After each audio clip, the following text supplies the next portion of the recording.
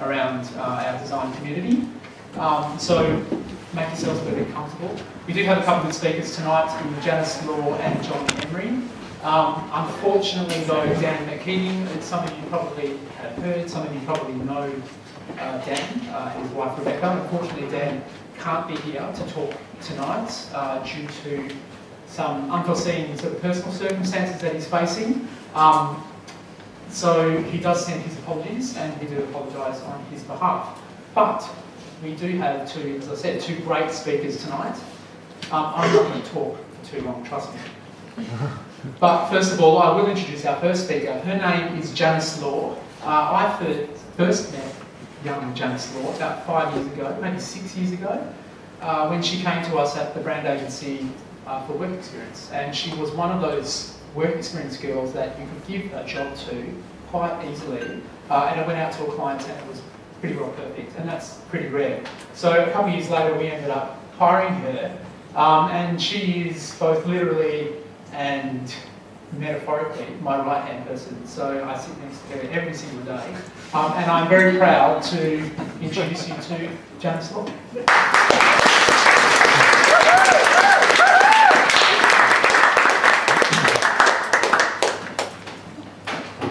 Thanks, Dad.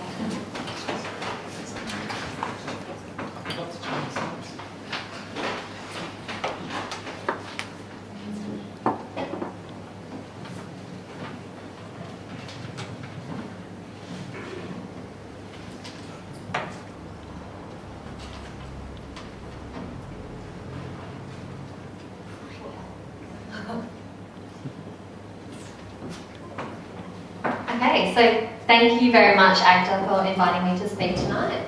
Um, tonight I'm here to talk about my five years in design. Oh, sorry. Wasn't supposed to say that. Um,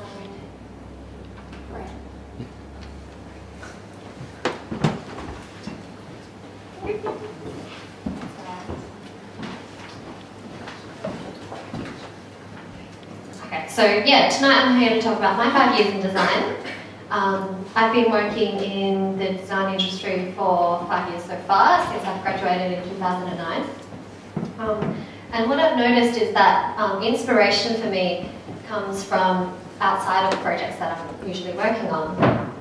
Um, to show this, I thought I'd keep on the theme of five and show you five projects that I'm um, working on, five things about me, and five pieces inspiration for me. So to start from the beginning, um, five things about me. I'm a designer. Uh, so I didn't actually start off as a graphic designer. Um, when I was in high school, or even since when I was really young, I loved drawing all the time. Um, and TE art was my favourite project. And, and that was just what I wanted to do all day. So I got into Curtin and did creative advertising. I really liked looking at the solutions um, behind problems, and I think that's where my graphic design um, kind of knowledge stems from. Um, since graduating, um, I um, started working as a graphic designer, and that's where I saw my true passions. I was born and raised in Perth, so my parents are originally from Hong Kong, and um, in Originally, they intended to stay here for only two years, but we stayed here, um, and here I am, and this is where I call home. I have a dog called Shlomo. Um, it's, he's named after um, an Israeli violinist, but it, I just thought it was a cool name. Um, and I try to put a dog in almost every piece of work that I do. I have a serious sweet tooth, so um, I probably have a piece of chocolate after every meal that I have, um, including breakfast. And I really love hand lettering, um, but I can't write straight. So everything else on the page has actually been straightened in Photoshop or Illustrator. Number five, I didn't, I left it as it was. Uh, so, hmm. Um, during uni, going back to uni, um, I started a label called Little Miso. the name behind this was because janicelaw.com was already taken by an author, quite a well-established author, so I had to come up with another name, another label name. So I registered the domain and have stuck with it ever since. Um, I really liked drawing, so um, I created these loose, sketchy fashion illustrations in different inks and watercolours, and I put them up online. I got a bit of local traction with it, um, and I was asked to do my first exhibition, which was called Girls in Magazines, um, in 2007. And I created a bunch of um, 20 original illustrations that were framed um, and we had a launch night which was fantastic and I actually got really good feedback from that and sold a lot of works as well. These are some of the other illustration work that I've been doing. So a bit later in 2010, um, this piece was done on paper that I found at flea markets in Spain. Um, I continued, continued my drawing throughout um, uni and then onto my first job, which was at Magenta, a PR boutique, um, PR uh, boutique design agency, um, which worked on lots of event and exhibitions for fashion and lifestyle clients, which I really enjoyed because of the fashion illustration side of it. Um, so these are some more recent illustrations and you can see the forms and shapes I've stopped drawing more people, but I'm getting into more um, abstract objects. So in 2009, I was still heavily into doing personal projects. And after hours, I had these ideas. Um, I remember lying awake at night um, and thinking I would love to laser cut a teardrop out of wood and then put my writing onto it. Um, and that's what I did. So I found this online vendor called Ponoko. I'm sure some of you guys have heard of it. And um, well, it was really simple. I just had to send my Illustrator files off and then they got laser cut onto wood. So it turned out to be, um, yeah, incredibly easy to do something I didn't expect.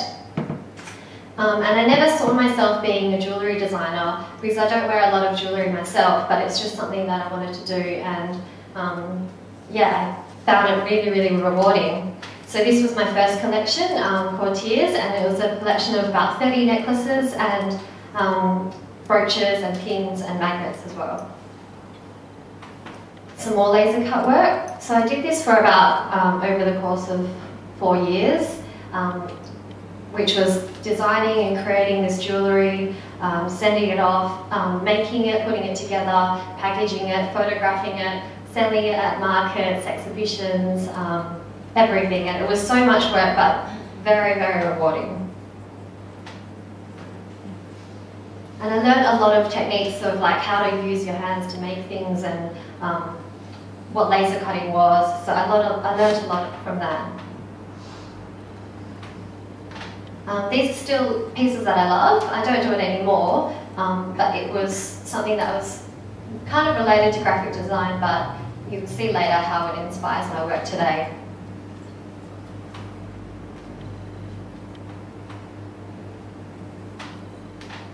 So on to five projects. Um, from Magenta, I moved to the brand agency, which I've been to at, been at for the past three years. Um, and it's been, it was a big shift in work. So um, the clients were a lot bigger, um, but we had, and I guess you could say more corporate than the fashion clients that we had at Magenta. Um, but the scope of the work was a lot bigger and we were designing lots of environments and 3D work as well. One of my early projects um, was a development called Claremont on the Park, and it's a current residential development around Claremont Oval, and it's one of its first in Perth um, for something to be built around an oval. Um, the tone of voice of it is very urban and eclectic and um, street, which adds a different dimension to what Claremont currently is. And the process of this wasn't linear at all. Um, we started off creating a logo. And then a couple of months later, um, Craig Buchanan, the creative director at Brand, and I came up with a photography, photography style. And he actually shot this all over the world, um, in LA, Hong Kong, New York, and around on site in Claremont to get a very worldly and different feel. So this, I think, was shot in New York. And to go with this, um, I came up with this type style, which I guess is inspired by the brushwork and the illustrations that I do. Um, yeah, to say to, to say the language of Claremont.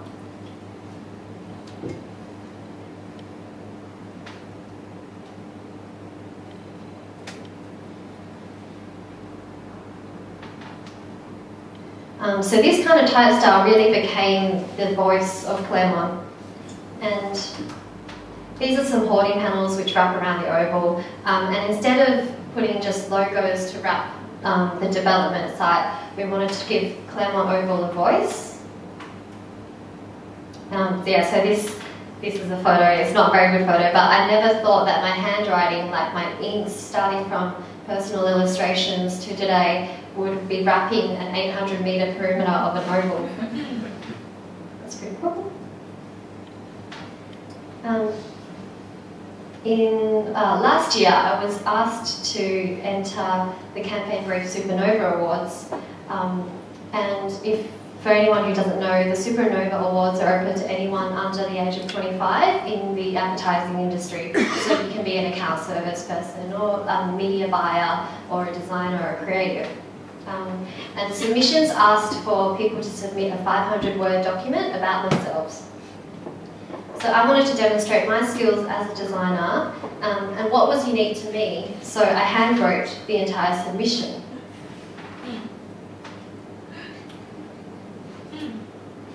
Which turned out to be a three metre scroll. Um, it, was it was incredibly stressful because I couldn't make any mistakes and I had to send them the original. Um, I actually did make one mistake around a third of the way through and had to start again. but I made sure I did do it again. Um, but it was also really, really rewarding doing it by hand and writing every word that I had to say, brushing it out. Um, and I really felt like it was a personal piece for me as well. Um, it's also the largest piece of work I've ever created. Um, so it was, yeah, it was really good, and it got went on to win a finalist, which was fantastic as well. Um, it went on, um, it got a really good reaction from the industry and went on to win um, a PADC bronze in um, self, uh, self-promotion category and um, got into the Typism book last year.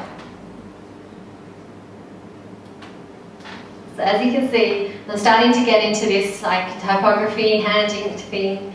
Um, and I found this program online which makes, which makes, turns your handwriting into fonts. So I thought I'd try it, um, and it was really, really rough and imperfect, but I made these three weights, um, kind of for Claremont to use as well. Um, I opened it out um, onto Dafont and as a free license for public and commercial, private and commercial use. And last year, I actually got an email from an agency in Finland um, asking if they could use my font to rebrand the city of Espoo, which is the second largest city in Finland after Helsinki, which is amazing. Um, they asked me if um, I, I was happy with where they put the accents. And of course I was. so what it says is, um, let's work together. I had just Google translated that. Um, but they actually produced all this collateral, like there's t-shirts and pencils, videos, um, and there's a video with a bear, um, and it's just my handwriting, which is amazing. Um, I didn't ever expect this font to be a downloaded and used, or used in another language to brand um, across the other side of the world to brand a city. And a few weeks back, I actually got an email from someone in the US saying that Forever 21 has stolen my font and used it on a t-shirt sent me a link. Um, instead of being angry, I was actually really flattered that someone would go and use it.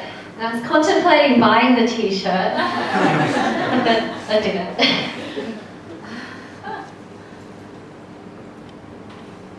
so these are some of the other fonts that I'm playing with. Um, yeah, font making is so much fun. Um, definitely not I wouldn't call myself, um, yeah, a typographer yet because it's really rough, but the lettering that you're doing for it is, yeah, so much fun. This is a brush script that I'm trying to put together. It's got a lot more detail than um, the previous ones because that was through an automated program. So I'm just trying to figure out how to make this one. And I'm also doing a short course at TAFE for letterpressing. Um, so I want to make these letterpress impressions into a font as well.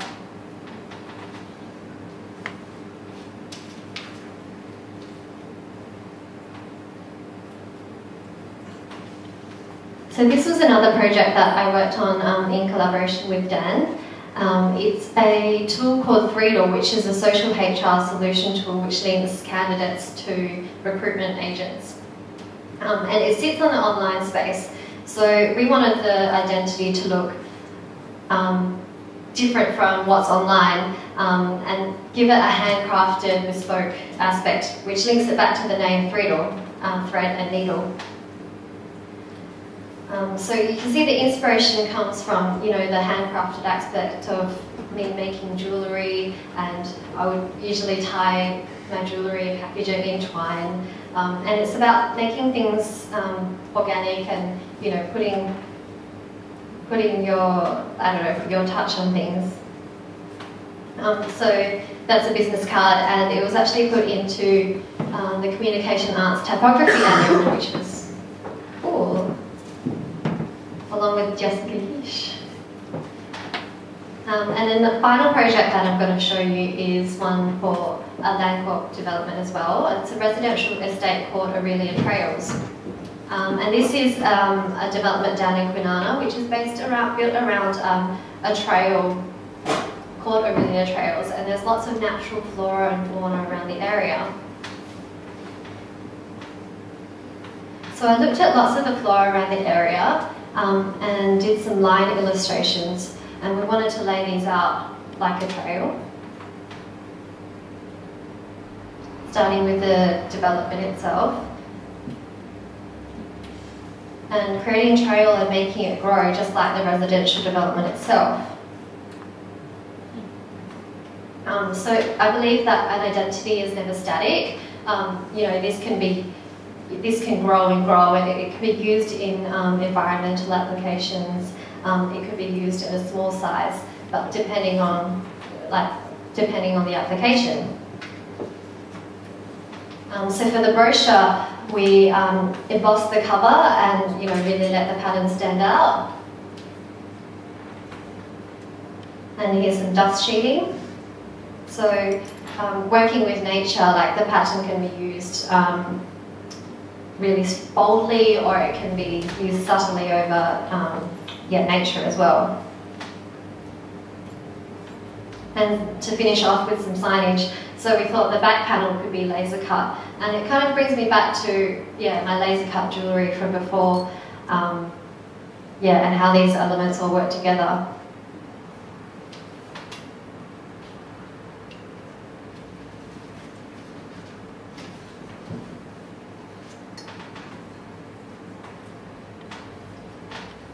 So five things that inspire me.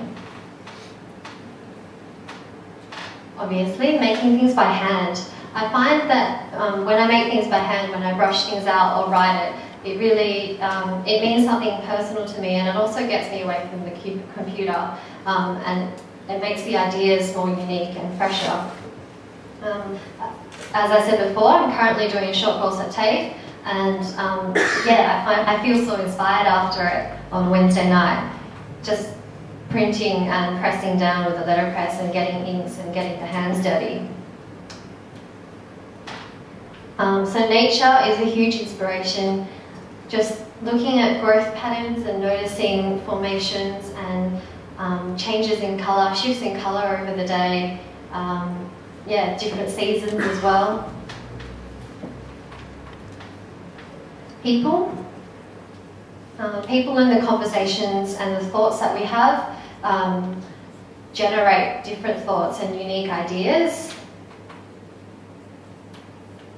Travelling, this is probably a big one for me. Um, experiencing different cultures and their arts is, yeah, so inspiring. And just for the sake of work, last year I went on seven holidays, um, totally work related. and five, Pinterest. Um, so I know people say it's not cool to be on trend, but I think you have to know what's current and happening right now. And Pinterest is a great, is such an easy way to um, yeah, see global trends or see designs from the other side of the world. So I think there's lots of ways to find inspiration um, and it's about broadening our worlds to create something unique. But it's still about finding a balance between the side projects and the work that we do. So when I was a student or when I was just out of uni, I was doing a lot of that stuff. I was doing exhibitions and drawing and I was um, laser cutting and um, running my design market stalls. Um, and that was a huge commitment. Now it's probably lessened, but I, I still see it as playing a huge part um, in inspiring the work that I do. So I think it's about finding a balance and it's different for everyone between play and work.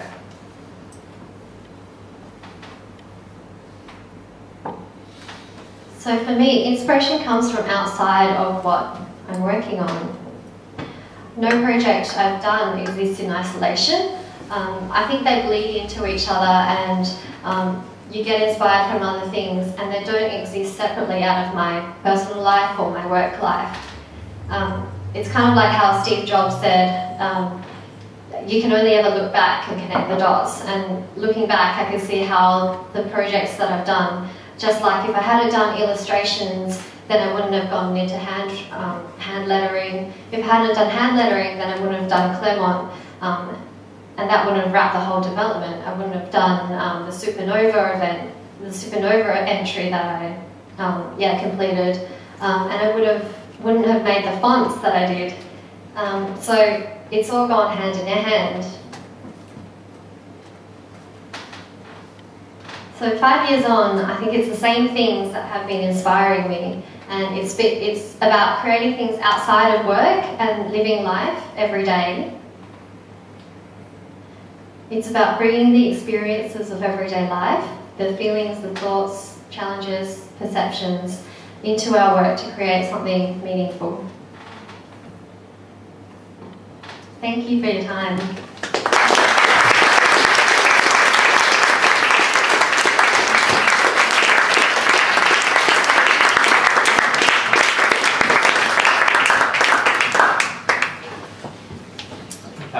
Thank you, Janice. Well done. Um, excuse me a second.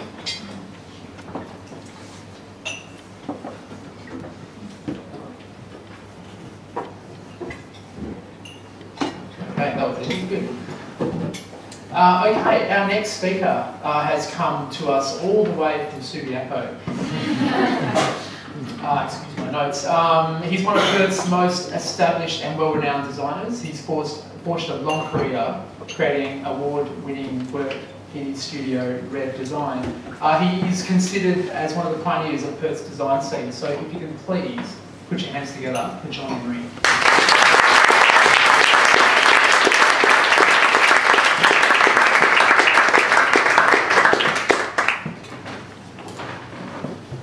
Good evening, everyone. Um, can I get an idea how many students are here tonight? Are there any? Okay, there's a few, so I'll make sure I speak to you in proper terms when I'm going through this stuff. It, it was interesting today, you know, because I, I had to go shopping. I, I, went to Woolies and I was pushing around the trolley because um, I'm a bit of a new age man, even though I'm only 61. And as I was pushing it around and sort of feeling the, feeling the goods, Mr. Dennis, how are you? Uh, I was listening to music. And as I was listening to music, I was sort of grooving away a little bit. And then it occurred to me, I thought, oh, yeah, I remember designing this piece to this particular track. And then it really occurred to me, I thought, hold on, they only play old music in, in supermarkets. And I was, you know, the Cranberries, U2, all this sort of stuff. So I kind of felt a little bit sort of strange about that. In fact, when I went home, I put the Cranberries on just to get me in the zone. So just so you all get a bit of an idea about me, um, this is my second profession. I didn't, I didn't become a designer until I was 34. That was my graduating year. Uh, Neil Turner took me on. I was fortunate to work with the likes of Mr. Dennis over there, Paul Dennis, and uh, Roland Butcher, and Stephen Castledine. And I was there for a couple of years until I launched off and got into my own business. Um, worked with a guy called uh, Stephen Rodriguez at the time. Um, and it grew from there. What I'm going to show you tonight is a retrospective, obviously, and I've tried to, as best as I, as I can, put it into some chronological order. Um, a lot of the work is really on that cusp. It's kind of pre-computer. So I'm going to take you through some of that with a bit of fun. This is the first piece. It's called the Wool Directory. It's only been out about a year and a half. And when I won this job for the, the Wool Corporation, they came to me and said, well, we want you to design something, we want it on a budget, and it's got to go out to like 100,000 letterbox drop. Now, you guys probably all know about single-face e-flute for students, if you know what cardboard's like. It's the thinnest cardboard you can get. But when I was designing this, they didn't have single-face e-flute readily available. What happened was I happened to have a piece of cardboard and at the end of it was this single-face look, just tailing off. And I thought, oh, this is really interesting. How can I make something interesting out of this? So I basically chopped it off, built this document, or the visual at the time, and then I had to go to Amcor and say, can I get this sort of stuff? And they said, oh, that's called single face. I went, all right. I said, can I get it? And they said, you have to put in a special order for it. So it was interesting. Um, when this went out, 100,000 went out, and it was so popular that neighbours were nicking them from, from neighbours, which is, it was lovely to hear along way. The other thing was, it was such a tight budget, I needed a child to photograph. And like all designers, in the end, I had to use my daughter. Now, Leslie is in the audience tonight. She's 27 years old now. But what I really liked about this, and it, the reason why I'm showing you this, a lovely illustrator, friend of Paul's, Bobby Hitchcock at the time, she did the illustrations. And we didn't have computers, or they were just coming in. So I had to get the black and white photo, and I had to cut it out, and I had to stick it on the visual, so they could go and scan it. Yeah. And they had to assemble it. So it went very, very well. Now my bent, I don't know if you know about this, but I'm very much into packaging. I've always loved to build packaging. This is the first, I guess, major job I got. It was for Vasse Felix. And it was for what's called the Noble Riesling. Now, when they came to me and they said, okay, you won the job, design the Riesling, I decided I was going to do something else. And I went off and I designed this proprietary piece of packaging. And for students who don't understand what proprietary means is it doesn't exist. You have to build something physically and work out how you're going to do it. I covered it in these, just a lovely craft paper that was printed with a, a lovely pattern varnish. And I thought, well, how am I going to tie this off? And I went out and found a, uh, was a guy that produced leather strapping down in Fremantle. And I had to get in to go and cut all the leather to super long lengths and as thin as I could get it. So the client, he came in, said, that's beautiful. And of course I was you know, being reasonably astute. I said, well, you can have it, but it's going to cost you more money. And of course he was seduced by it also. and Vasse Felix decided they'd use it. I put this in, not, it's a terrible shot. It's the only shot I have. But it's interesting that when you actually go to these places, big box board factories, and you wander around, and it's really important to do that. When I got there, I noticed this machine. And it was a machine that they used, it had paraffin wax in, and they used to put the cardboard through to put a wax coating on it. And I said to the guy, what's that for? And he said, oh, it's to, um, it's to protect, you know, when you put vegetables in boxes so the moisture doesn't go through. But it gave this beautiful effect over the cardboard. Every single piece of cardboard that you put through when it was flat had a different texture to it. You couldn't glue it. It had to be stapled down the sides of these brass staples all the way down the side. The clerk was wrapped in the idea. They had to hot wax every box closed. So they got right into it, which was great. This was the, out of the packaging jobs that I'd been designing, Perth saw what I was doing. So they came to me and they said, oh, we'd like you to design packaging that we could, you know, mix and match, put all the different medallions and coins in, So when people buy them, we can sort of put a sticker on and send them away with it. So that's what I came up with at the time. I call that period brown period because everything was really, really natural. then we get into the beer period. So this is moving on about, I don't know, three years into, into, my, into my business at the time.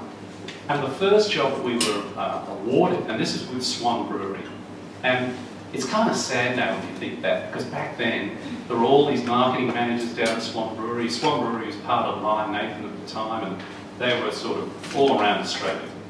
So they came to me and they said, okay, we want you to design territory bitter. I was getting really excited. Oh yeah, great, territory bitter, yeah, good. Brewed for a Territorian, sound really good. I said, uh, where's it brewed? And they said, oh, it's just Emu bitter. We just put it in a can and send it up there. said, they'll buy it, that's fine. I put this one in because we were starting to get to this period. This is, this is, we've got computers at REM, I remember this well. But computers really couldn't manage Photoshop. They just, they could do it, but nothing really great. This job here, when we designed them, that uh, Swan Brewery at the time said to me, we want you to design these packs that are called Riverwood 30 packs, you know, like weight a ton, 30 cans of beer in them. And I had to go to Sydney to press pass all of these jobs on, they were called Roland 800 presses, they were huge. Uh, was, the place I went to was just, I was outside of Sydney, it was, it was like going to Kwinana from Perth. So they stuck me in a hotel and I had to sit there waiting for this call. And I was sitting in Sydney for about four days, waiting for these calls to come. I was wandering around all the shops, buying stuff that I didn't need. Anyway, I get this guy. I mean, he rings me, one o'clock in the morning. He says, your jobs are on the press. so I get this taxi driver, and I said, I've got to go down to this place. I'm driving and driving and driving. We get there, and I went, you can't leave. This is, this is nearly 20 years ago. You've got to remember this. And he said, you want me to stay? I said, you're going to stay. It cost me $100 for him to stay 20 years ago. The, bit, the beauty with these, I'm sorry for digressing, but I had to tell you the story. But the beauty with these um, packs here is that all the images were photographed. And what I did with the, with the, um, the photographer, Leon Bird at the time, I said, look, I'm going to put this image under the glass, and I want to put all these beautiful little water droplets on the top. And you can sort of see when you look at them, there's all in here, there's all little, uh, like little magnifying glasses. So we photographed all those images at the back, and then we photographed the cans separately. In this period, it was all done on medium format, large film. And we had to get this guy who combined those images using masking and produced large transparencies because no computer at the time could actually manage that soft edges that you can get really easy in Photoshop nowadays. I don't know if anybody here remembers 1857. I think I'm probably the oldest person in the room. So we went on, we designed 1857 and all the ancillary stuff that goes with it. Um, and this was really coming near the end of the beer period. We did pick up a lot of work for, you know, testing stuff. We did stuff for Hahn Ice and even stuff for um, Southwark Brewing in South Australia. We now get to the berry farm period, and the berry farm was a client of ours oh, for probably 10 years, and this is where we started to, and I had a lot of fun getting into um, more exotic packaging, I guess if you want to call it. I think this is one of the first pieces I picked up an AGDA award with. Um, the, the bottle's Italian, and that's not a big deal now, but back then, sourcing bottles and getting them was really, really hard. And I started to get into this period where I went, oh, I just want to do something different. I was getting really, really annoyed that, you know, you'd look overseas and people would design things and have medallions and stuff put on bottles. So I went and found this company. Now that's another thing I've, just got to get out of normal graphic design circles or printing circles. And I found this company that could cut discs and things and etch brass and all the rest of it. So they, that's where I started to come up with these ideas of medallions. This is a vinegar. But this is a really big vinegar. This is one and a half litre bottle. I mean, it stood this high off the table. It was a big mother. In fact, it was so big, we had three of them. I had them for years. The other day I said to my wife, I've got to throw these out. I said, we're not getting through this vinegar. It's just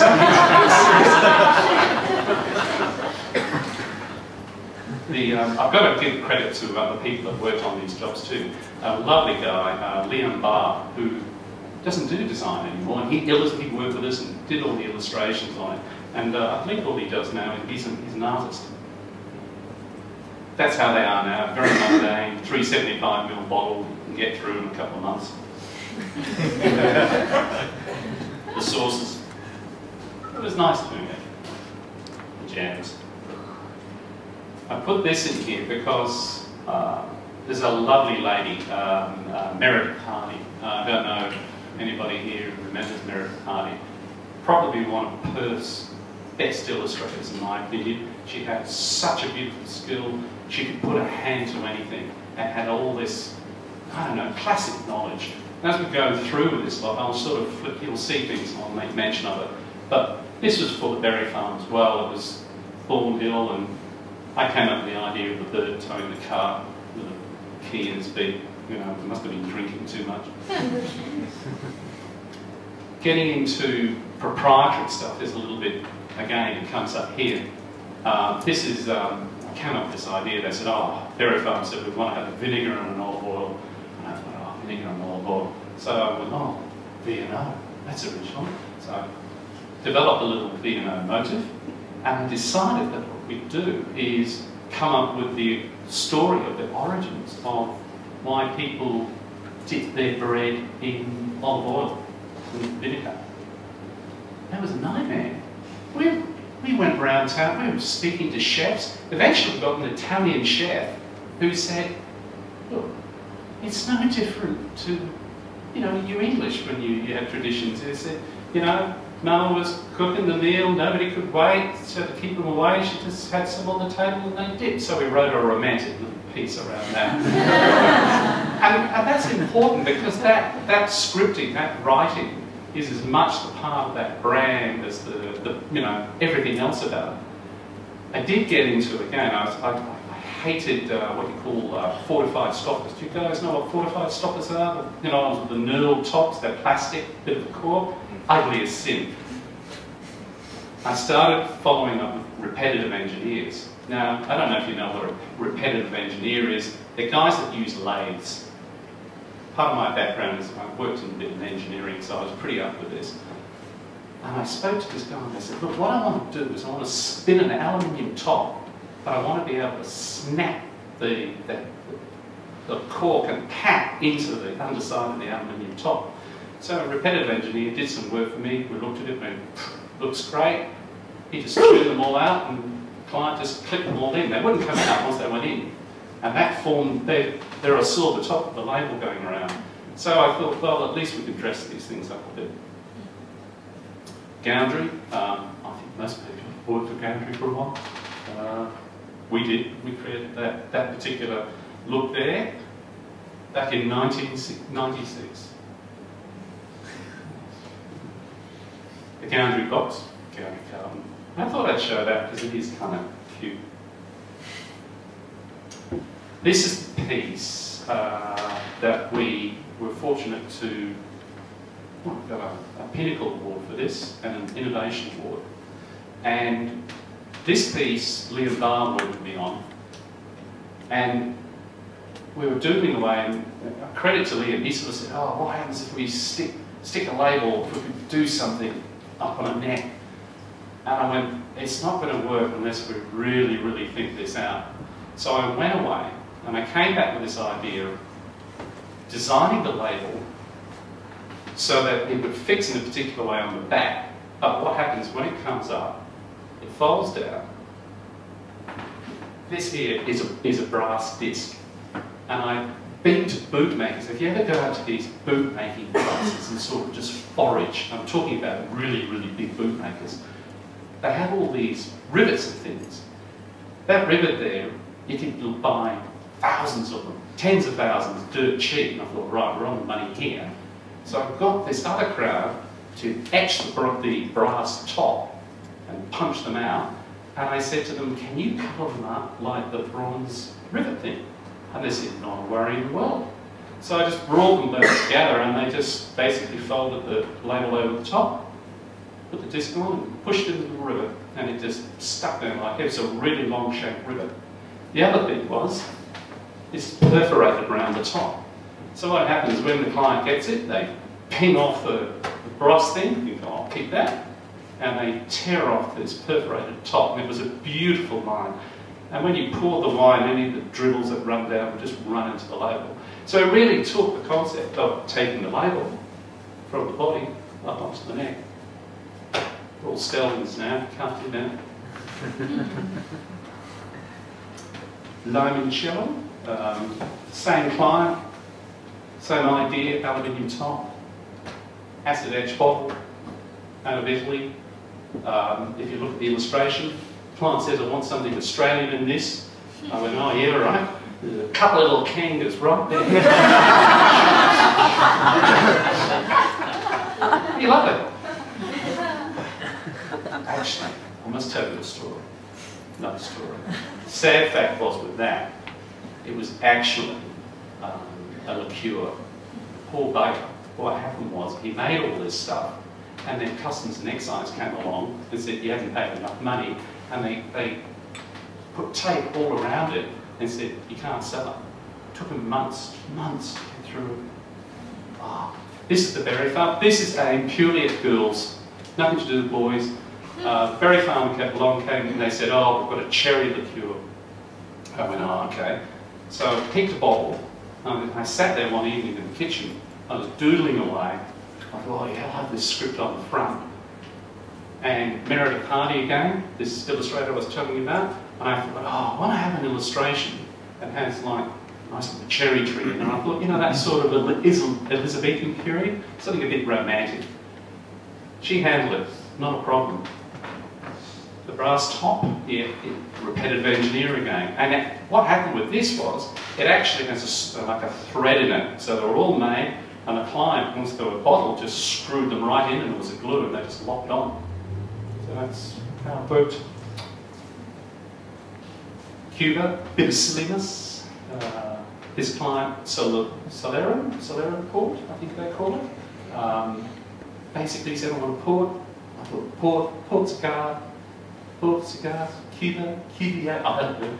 So he said, yeah, so we basically decorated up. Silliness came out again. I thought I designed a top that you had to have screwed. I, I, laughed and I said, is this really going to piss people off? they don't have a screwdriver. uh, Wamco. Uh, the Wamco job was uh, interesting. Um, and it's actually being sensible. Um, when uh, the West Australian, West Australian Marketing Corporation came to me, they said, oh, I want you to design a brand that's going to work internationally. These, these guys are fairly big. And we're coming up with all these ideas. And um, a lovely designer who worked for me at the time, Phil May, I said to him, look, can you, you know, knock me up an illy of this? I decided you should use a pastoralist because people on packaging, you know, see sheep, cows, whatever, the lamb, I can't do. So I thought, use pastoralist because the pastoralist is, you know, he's the symbol of you know, good care, taking care of things. Anyway, he, Phil did knock something up for me and I worked on it into the night. I did these big photocopies, moving type around, getting rid of most of the, illustration. And I knew it was going to work in the morning because I had this lovely designer, Janet Tagliano, who worked for us. And I said, Janet, have a look at this, what do you reckon? And she looked down and she said, oh, he could put his boots under my bed anytime. but the client said, no, it is perfect and it works. Uh, and it stood the test, they still use it, which is nice. Huh. This, this was a great job. It was a really, really good job. Um, most condom packaging is pretty horrible in my opinion. And when we were awarded this job, I said to the, I, I said, look, we've got to get girls and guys working on this. I don't want, I don't want just boys, because I know it's all going to be, you know, six packs and all the rest of it. And I just wanted to have a really, really good balance. And this is what came out. And what was nice with this was that we came up with these little, in a lot of ways, they're logical, little symbols like the key, you know, representing something precious, um, the feather, you know, a plaything or a peace offering, whatever. So were, this is where we, we went, okay, I'm going to have all these high chroma colours. The client um, at the time, you know, he drove a really hard bargain. And he's actually he's still a really good friend of mine. His birthday is exactly the same day as mine. He's the same age, so about once every five years we get together and have, have a birthday party. Do you have balloons? Uh, no, but we did. We had them sort of delights but the nice thing was with this, he, this packaging did so well across Australia it was ranged in all the supermarkets that Seaton Shop, who owned Durex, said, we want to buy the brand.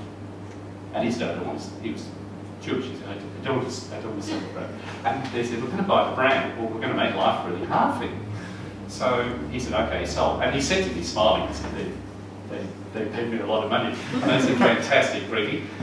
Anyway, he said, look, you should contact them. So I sent them this letter and I said, look, congratulations, you bought brand, really happy for you. Uh, just wanted to let you know, put all the artwork here, it's all backed up, it's all safe. Oh, by uh, we own intellectual property.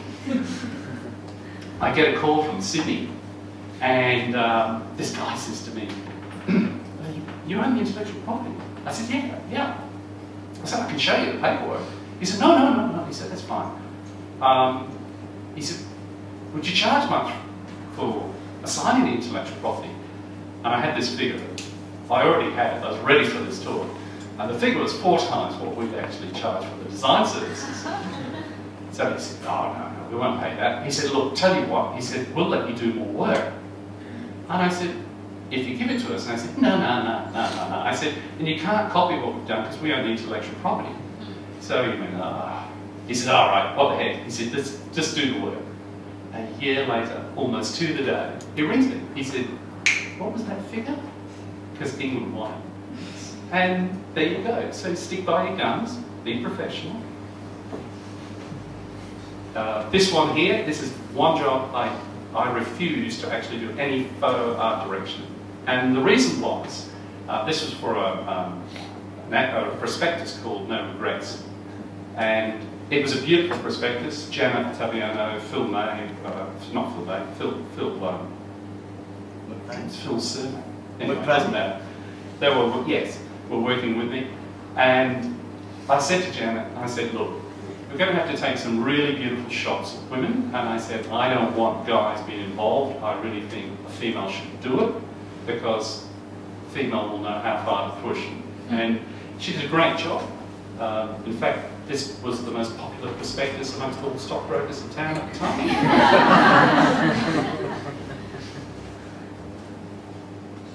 ah, Bruha. Now this is part of Subi's institution, you know, it's all, it's there. I have to credit my wife here, um, because my wife actually came up with the name. Um, there was a guy called Brian McCutcheon, he used to have the tea and coffee merchant, Canadian guy. And he comes along, he says, oh, look, I've seen your work, and you are, you, you're sort of all family uh, in Subiaco. And he said, look, I'd, I'd, really be interested in you designing this. So he, my wife, of course, came with Bruha. Then I thought, okay, I'm going to have a bit of a bit of a strap line, something to work around. So I came up with the ritual. And a guy called Paddy Smith, who now works in, um, in Canada, keeps in touch. Um, he did all the illustrations. So we had Chief Jamman, Queen Hubba Hubba, and the client's son came up with that, so I can say that, and we call them the psychiatrists. There are about 24, 24 characters in this, which I really like. Cups, stuff, all that normal stuff. Some of the illustrations. Down to the outside, side is to the outside, woman in the inside. This is what I enjoy, and, and this is I kind of like getting into this holistic branding side of things. So we wrote this uh, Brewha definition. Uh, you know, the ritual of consuming the highest quality teas and coffees, particularly whilst engaging in spirited debate. And just that little image, you know, cheap jab man out there throwing a spear, spear breaks, go home, have a, have a coffee. Life's not bad, you know. So. Ah, got to tell you about this. I came up with this honcho mixo pledge. I couldn't help it. Just, just you know, I was sitting there one day and it just ran off the pen. That, you know, this tea, this coffee, better than this, better than this. You like, you make my heart warm. You don't like, I give you a of that, okay? About three years ago, this thing has been out in the marketplace for, I don't know, 15 years. The guy, the West Australian newspapers, cites this as being politically incorrect. The client rang me, the new client, said, what do you reckon we should do? I said, just ignore it. I, I thought, you know, political correctness going crazy. Uh, this is one of my kind of earlier favourite pieces. Um, a lovely designer, uh, Louisa Rhinelander. Um, she's got Manifesto, um, and she does some really nice labels. Um, uh, don't know how she gets on so high Google, it's brilliant. When this client came to me, they said, oh, we've got a company, we're going to produce all this um, antipasta. Okay. And they said, it's called Pickle Factory. And I said, oh, that's soulless, isn't it? Pickle Factory. So I was able to convince them to get rid of the Y and replace it with an I. And I kind of then, you go, oh, Pickle Factory, you know, you started, started to work. And I, the, the, the motive here, which I'll, is that better? I, I, sat there and I sort of thought, oh, factory, cob, okay, you know, lots of fruit stuff around it. Um, and I'm sure you guys Brandon and everybody else knows, yeah, this is Malcolm, Malcolm Lindsay, you know, Scribbles. I don't know why the man calls his business Scribbles, because he's, uh, he's such a, a beautiful illustrator. And he rendered this for me.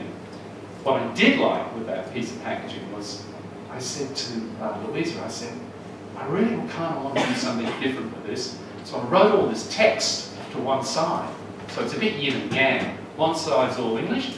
And I said to Louisa, I said, do you reckon you can find anybody that could translate this into Italian?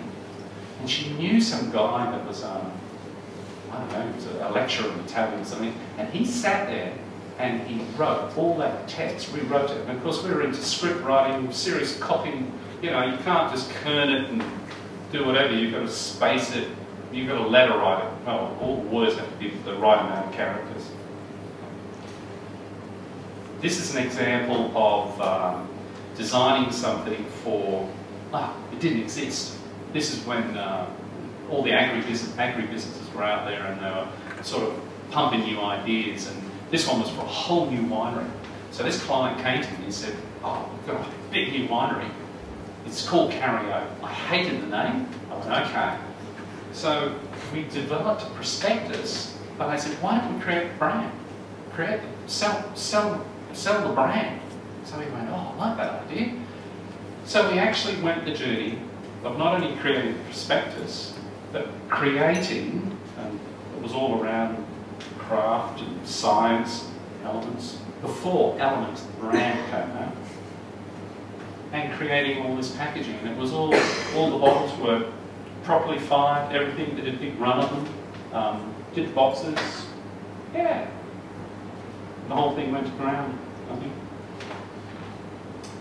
This job is for a crowd called Inglewood Elements. So um, they came to us and we had to develop a whole branding and packaging. I mean, it was quite a large program of work that I'm not going to go into.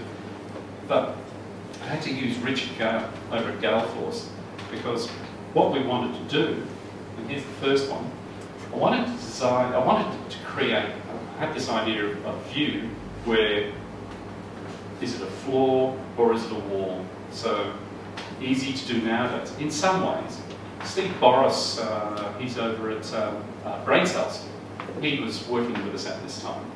And it was, it took two weeks to this whole shoot because there were like 16 shots And what we had to do, we got up in the, the heavens at Galeforce back then, had this guy do all these backdrops. They're all built. They weighed a ton to move around.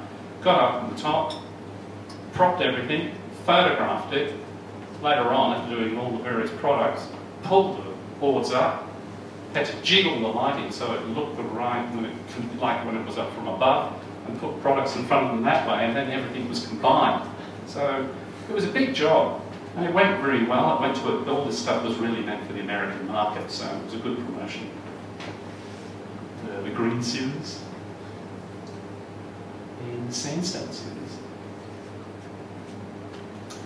Starting to get into that kind of more, call it minimal look.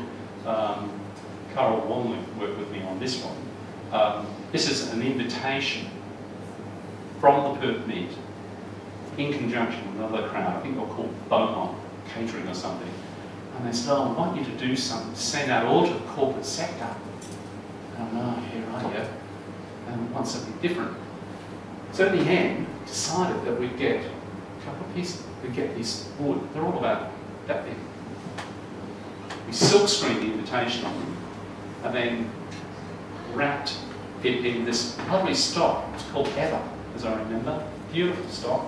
You can't get it over here nowadays. And then I've used this process with wax seals in the past. I don't know if you know. I'll tell you a story about this in another one. But put the black wax seal with a cord and then they were wrapped and they're sent out. They, it was a roaring success because all the people in the corporate sector went, oh, this is really different. So just broke ground, I guess. Uh, three drops. Uh, three drops is one of those jobs where you go, how do we kind of step away a little bit?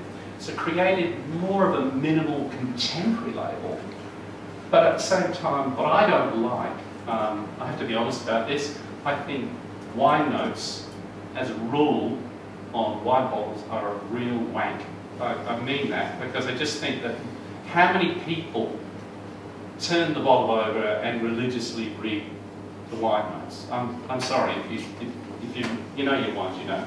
So we got into things like writing these lovely little uh, pieces about, well, where is it? I've got it here, guys. My first bit of reading. It's not, not much. Here it is. Yeah, here's a typical one. Uh, unknowingly, the sun of drops and rains, which were eagerly gathered by the conspiring vines. Now, putting that on the front, it's of, it was, there was more to the brand culture than sticking a wine note on. I don't know if you, uh, the client at the same time, after a while, they said, oh, we'd like to do something different and in terms of our promotion.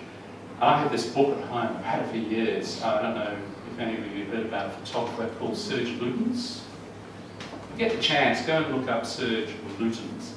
Serge Lutens was responsible for the imaging of a lot of the big fashion houses um, um, in, in, in France. And he was a photographer.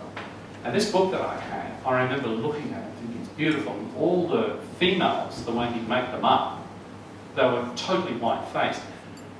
And I thought, oh, hold on, maybe we, if we look at that stuff that Serge Lutens did, and create this almost androgynous-looking character, and really this is what came out of it, and then she's been used, or he's been used in this Catch Drop Three.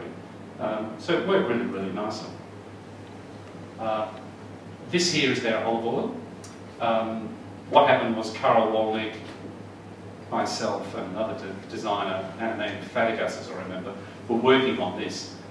Um, it's fired to the bottle, and it used to have a different outer. And about four years ago, the client came back to me and said, look, can you redesign some label that will work? Because it's a difficult bottle to work with because of the, the, the complex curves. Um, so this is what I designed that will roll on. And, yeah, it's a beautiful thing, stands the test of time. This job is an example of taking something that, and part of it is based on something that I found many, many, many years before. When this client came to us, they said, oh, we've got, it's um, New Norcia Bakeries. They said, we would like you to design a piece of packaging for a Panforte product. I Went, oh, that's great. And they said, it's got chocolate in it. And I went, oh, that's even better. And they said, we've, we've got a name for it. They said, oh, what is it? We said, we're going to call it the New Norcia Dom Salvado Centenary Cake. yeah, that's exactly what I thought. So I went away and um, we did some thinking in the studio. And in the end, I came back and said, look, let, us create this as a bit of a brand in its own, Dom Salvado, from New Norcia. But I said, we have an actual name for it. And they said, oh, what's the name? And we said, Pan Chocolate. And they went, geez, that's good, isn't it? And I went, yeah. I said, it's a whole new product category, you see. I said, you own it. What do you reckon about that? And they went, yeah, we like it. So, also, New Norcia is a business in its own right. It isn't part of the monastery up there. But they had this kind of licensing agreement with the monastery. So I said, look, what I really like is to get some verbiage, wordage, but I'd like it in different languages. And they said, oh, what do you mean? And I said, you know, premium quality, because Dom Salvado, he was Spanish, but the monks all speak Latin. So this stuff up the sides is in Latin and Spanish. And the monks just got off on it. They really And behind here, there's all this type that's written. That's all they wrote. It's all in Latin, and it's all behind there. The story I wanted to tell you, oh, this part here, I came up, I thought, oh, Dom, Doom, I Doom. And I wrote, designed that little mark, the, the mark of the Dom. I don't know why I came up with a cross in the centre. I wanted to get rid of the O, because it just would have been a bit, a bit, when you say the Dom, it's a bit, bit kind of Italian mafia at that point. but what I wanted to talk to you about was this. I brought this up. I've been out about one year, two years, in, in, no, one year in business, my first year, the year I was 34. And I was flipping through this book, and I saw this image of a bunk, bunch of monks. They're all standing there in a group. And it was a woodcut from about, I don't know, 800. And I went, oh, look at that. And there was this one monk, looking sad, you know, head on, head on the side. And thought, geez, I love that guy. Back then, we used to have what was called repromaster cameras. So I shoved this book underneath, blew the shit out of it, got it as big as I could. Then I had to work away, you know, fixing it all up, because this is so old. And I put it away. And I put it away for 10 years. Because I went, one day, don't know when, that little face is going to be used so, moral of the story is, put them away. Don't put them on the computer, put them in the drawer. Followed on with Nutcake, Guy Pratt, um, who had worked with me on the Dom Salvado. Um, he worked on this one, and um, it's a lovely piece, and the whole development of the New Norcia brand mark. The interesting thing is, with this pack, they came, when they came to us, they said, we've got this Panforte. And the two partners, you could see there was a bit of tension. And I said, oh, right. And one looked at me and he said, it's bloody hard. My mum can't cut it. The other one said, oh, it's not that hard. And in the end, we, I sort of looked at them and said, look, it's simple. And they said, what? I said, why don't you just cut them in half for the customers or bake them in two halves and seal them in two separate packs in the box. And I went, oh, that's clever. So I went, okay. And they said, oh, and you can produce a half-size pack. They got really excited about that. But what was even better about these things is they're a cake. They're round. You get a piece, you get a cake that's in a vacuum formed pack, you can't stand it up. It just falls over. It's terrible shelf presentation. These, and we designed these proprietary packs, can stand up. And they were a treat. Myers got hold of this. The client was rapt. He was in Myers in Sydney. He said they had five displays of it. He said it was great. But even nicer with this. We went nut cake. I hate the, the, the name nut cake. I make no bones about it. But I thought, if you've got something you don't like, go really go the distance and we wrote these pieces about nuts, like this one here. Pecans in the past have been notoriously wild nuts. Favoured and coveted by native North Americans, it took four centuries to tame these tempestuous nuts and disappear from cultivation. so all of a sudden, the nuts have some character. So beautiful piece, worked a treat. Next was the biscotti, and all this packaging that I was showing you is still being used. They haven't changed it, which is wonderful. So we've somehow we've finished with these, we've finished with uh, these beautiful Panforte products, and out of nowhere we've got CSBP came to us. And they initially came to us to, to design a brand for a, a liquid fertiliser product. Anyway, they said, yeah, that worked really well, we to see you again. so we went out and saw them. And I was sitting there with them, and they were pretty honest actually. They said, look, we're going to be upfront with you. We have a really, really bad reputation with farmers. Because farmers see us as ripping them off, you know, charging them a lot of money for fertilisers. You know, we want to change that. I went, oh, okay. Anyway, I got in the car, and I'm talking about, you know, the future of farming, blah, blah, blah. I Got in the car, and I was driving back, and it was like, you know, this epiphany. You just, I just went, this is so logical. I rang them up, and I said, look, what you're talking about in terms of wanting to partner with all these farmers is the future of farming, right? You know, good relationship. And they went, yeah. I said, you ever thought about calling it all CSBP Future Farm? And there was this long silence on the end of the phone, and they went, oh, we really like that. So they rushed off, registered it. It didn't, you know, CSBP, CSBP still existed as an entity. And we ended up, uh, would have gone about three years, designing all this material, going up country, uh, uh, meeting farmers, meeting farmers' wives, you know, um, really getting to know what their issues were, designing stuff which was around um, how they were going to help them, how they were going to work with them, um, packaging for things like they call you know soil analysis kits, and you can sort of see how we started to you know carry all this branding um, across. Uh, there was things like SkyPlan. My first career was a cartographer, so I understood about remote sensing technologies and stuff like that. So, um, you know, it's very, very beneficial there. We had uh, Richard Gale, Leon Bird, and we had two, two photo studios having to do all the work. We had, had to get choppers in to do shots like this. It was pretty full on. And I put this one here because this always makes me smile. These four guys here, these agronomists that get into interpreting all the sky plan, all the images, all the satellite images. And typically they, they said, oh, we've got to have a photo of us. And I went, oh, yeah, okay. So we're designing this brochure. And they came along to the studio, and typically they were there, they were all in their, in their suits with their, with their ties on. Day before, I don't know what made me think about this, I, was, I had SkyPlan, I was driving along, and I thought of the Thunderbirds. You know Thunderbirds? Yeah. And I went, you know, Thunderbirds, oh God, Thunderbird 1, Thunderbird 2, Thunderbird, I thought, oh, I thought, oh, a bit of fun here. So we got these t-shirts knocked done really quick. Anyway, they turn up, they got their ties on, they got their suits on, and I said, guys, they said, yeah. I said, take them off. And they went, what? I said, take them off and put these on.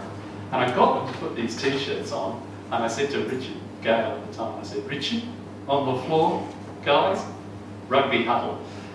And they took this shot, and it is, there's some, there's, you can see, they are just happy. They are laughing because they didn't have to stand there and look like idiots. Um, and it worked a treat because all the farming community, when they saw them, they just laughed and identified them because all these images were used in really, really big expositions and things like that in Dowerin.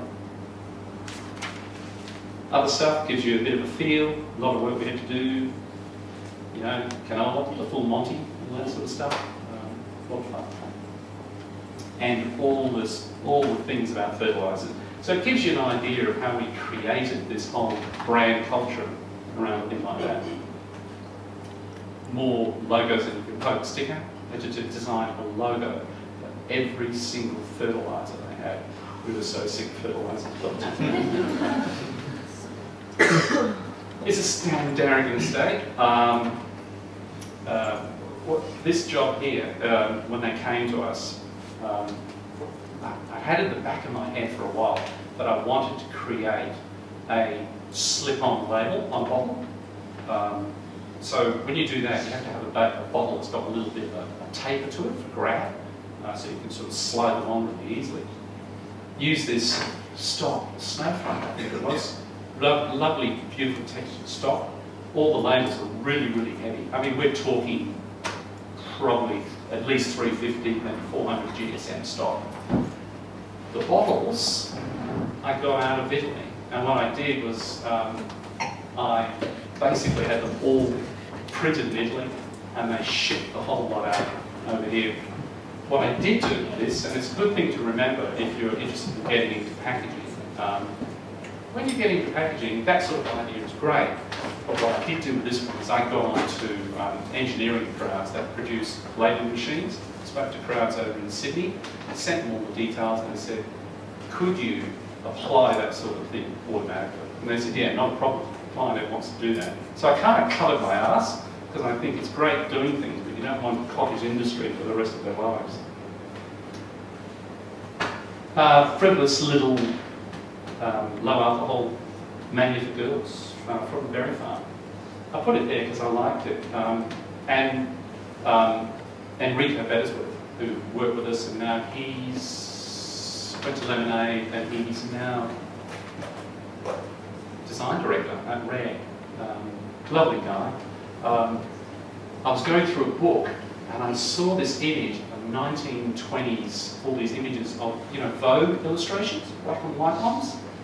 And that was the influence for the, the woman. And then, of course, you know, a bit of Clint in there, and just brought it together. So it's a bit girly, but it's nice.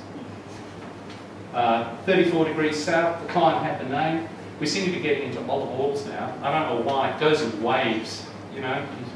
You, get one olive oil, you get another one, another one. Um, but what I liked for this is about four years ago they came back and they said, oh, we need some Dukkha packaging. And I thought, oh yeah, um, I'm happy with that. Um, couldn't use the big servant thing, so I used it as the window. Um, worked well. Another olive oil, Eau Fay. Most of these are on the shelf, exactly as they are. You have Darriman, Eau Fay, Three Rocks. They've been out there for years. They haven't changed. Yalumba came to us. Uh, they said we want a um, we want a wine out of Western Australia. They actually partnered Vasse Felix. And I said, okay. And they said, we want you to develop a brand name. And I oh, right. So uh, my daughter Leslie was actually, I remember the date, she was 15, she was doing work experience of all places down at Berry Farm. And while she was there, I went out and got books and was reading up on wildflowers and all the rest of it. And I don't know how I found this information. I was looking at a, a map. I saw this, this thing, Ringbolt. I thought, oh, Ringbolt what's that? It was where a ship, a, a ship that actually uh, sunk. It was bringing concrete, cement to Western Australia donkeys years ago. But I thought, oh, ringbolts, hold on, you know, they use them with, you know, horses and all the rest of it. Had them as it stays on the end of the posts and down at wineries where you hang the vines on. So I thought, well, that sounds good. And hence, you know, hold them fast, work hard, uh, build a heritage. It's all about that fury stuff. So it worked. It's simple. And the reason why they wanted this, they said, we cannot release any more wine into the off license into the UK. We need to have a different, another brand for a really good wine. So that was really designed for the, that area over there. And it's, it's still going, it's, it's grown in numbers. Berry Farm again, uh, they had all these ports, so many ports. So in the end, they, they said, we're thinking of having a port house. So I just like this, it's simple. It's before other ones have come out with number ones, number twos, and number threes. Know, they said, well, why don't we just create a lovely concept around the Porthouse series? Um, and it worked well. Here's the Porthouse. Uh, now, this is Wooloora. Um, a guy called Peter Gallo. He was uh, Kerry, Kerry Stokes' right-hand man. A really, really lovely man his family, they own um, a big property um, down on Wildwood Road, and he said to me, I need, this is a nightmare job actually, he said, I want something beautiful design, and this would have been, I would have had about a month. He said, right, and he said, I want a really, really lovely piece of packaging. And he said, because we're flying out to see family in Colorado, even though he's Scottish, they're all met from around the world. Right. So I created the Wallura brand, and I thought I really want to create a proprietary box for it, because I knew I had to do that. So what happens with this box, I've got a dodgy shot just after this, is that, see the piece of stick there? What I thought was, okay, I'm going to build this box out of E-flute, because I, I knew a lot about E-flute and what it would do. You can laminate the papers to it. And that piece of stick there, you just pull that and all the cord fell away. This here, this is a proper wax seal. And I dealt with another guy who had to build stuff for me at one stage. And I discovered that it's a pain to tip this. If you ever want to pour sealing wax and you want form beautiful shape, you have something made, and you have it made out of the same material they use for dentures, because sealing wax does not stick to it. So we would have these little units, and you just pop them down and pour the wax in and then plunge the mark in, and it was perfect shape every time. So they, we produced about 400 of these. We had to get this whole job done. It was a nightmare in about one month. I mean, design, build, have people silk screening up there, printing the labels. It's not brilliant, but the inside, I used that Everstock that I mentioned earlier, and there's left and right are these two tubes. And actually what they are is 25 mil reticulation pipe. Because I wrapped this paper on, but it actually had some function to it because that cord went through the bag, you pull it as tight as you wanted and then wrap around the box went around the, um, the little dowel piece that I had made as well. So, it, you know, there is, you know, the whole thing about form follows function actually follows through with this. We then ended up in Indonesia, uh, ended up, I hate Sun Plaza, but, you know, that's what they wanted. Years before, I'd seen something similar to this in the UK, so we designed all these pieces, and Sun Plaza, I thought, I hate the name, what can we do to make it a bit different? So I thought, well, hold on, one thing around the world that's common is they all have sun gods of one form or another. So the architects up in Indonesia and the client went, oh, we really, really like that.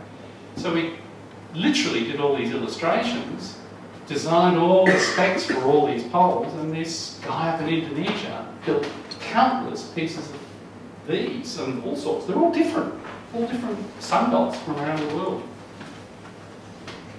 Internal signage, more internal signage. Well, I'll tell you one thing.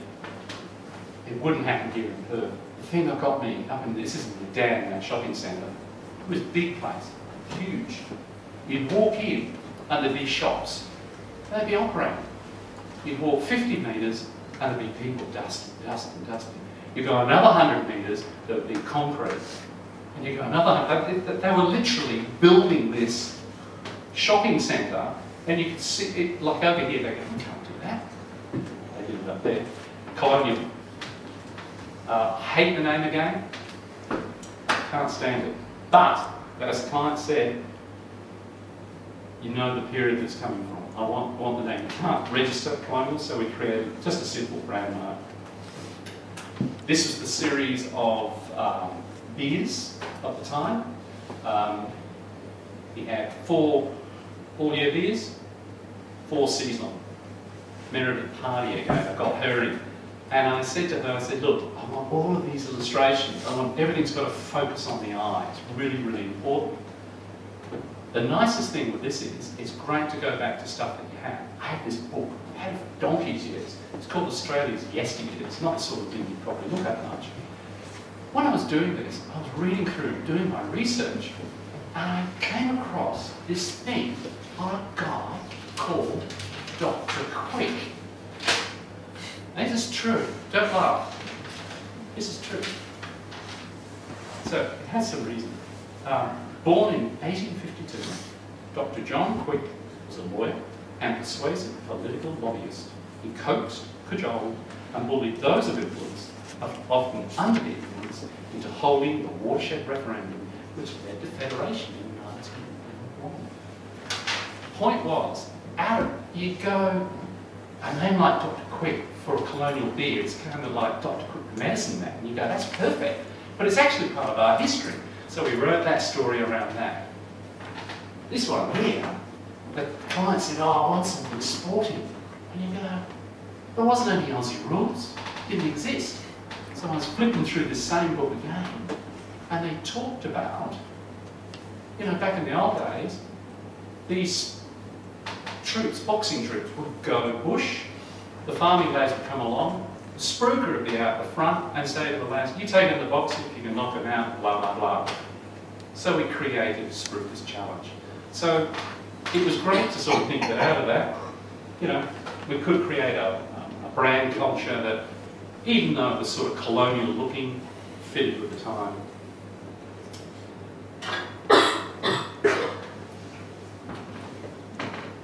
You see that image over there? Little story, I'm telling too many people this. When I was doing my, when I was at Curtin, way back then, studying, I thought, I'll do multimedia. And I thought I'd do one of those AV shows, all the slides. So I was about 31 at the time. And I came up with this idea of doing an AV on um, the building of the dam and the reasons why they, you know, had to go bush and up to Kalgoorlie, etc. I went into the back in library and I said to the lady what I was doing. And they went, oh, right. And I said, so I need to photograph stuff. And they went, oh. They said, look, tell you what.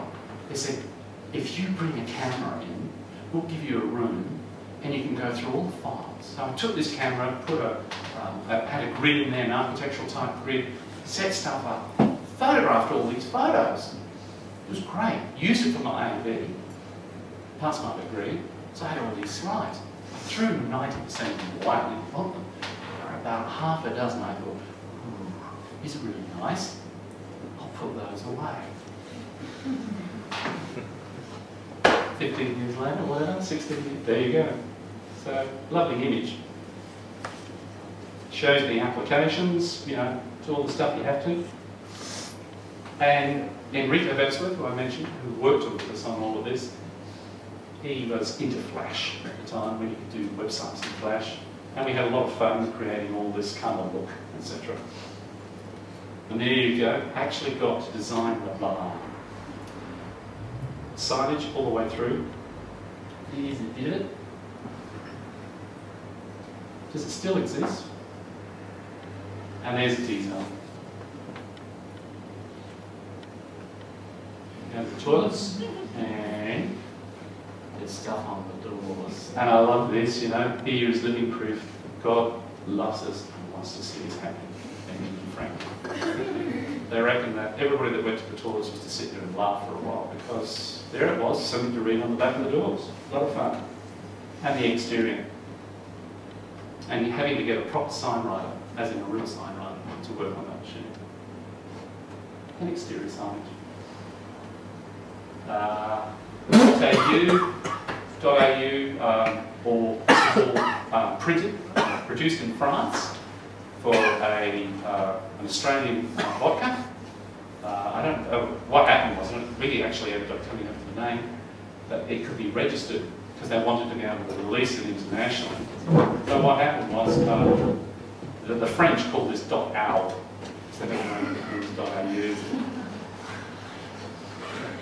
This is an example of trying to design a proprietary bottle because the client didn't want to paint French, so he went to China to do this version, which is a version of the other. The only problem was the Chinese couldn't get the thread right.